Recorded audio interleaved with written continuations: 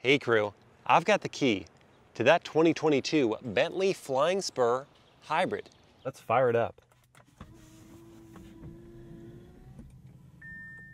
We have a 2.9 liter twin turbocharged V6, same one you'd find in the Porsche Panamera, and that is mated to an electric motor and a 14 kilowatt battery pack for a combined 536 horsepower and 553 pound feet of torque. Is it quick?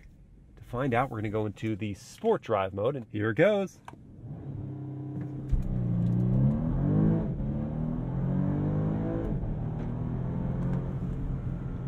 4.3 seconds. Gosh, I love an all-wheel drive system for a 0 to 60 test. It was just like, we're going now.